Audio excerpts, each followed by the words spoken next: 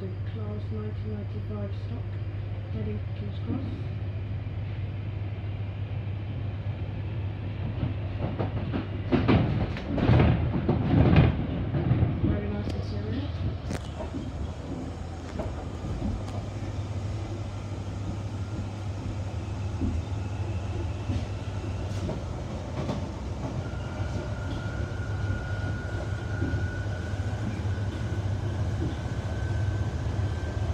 To make a train interiors playlist.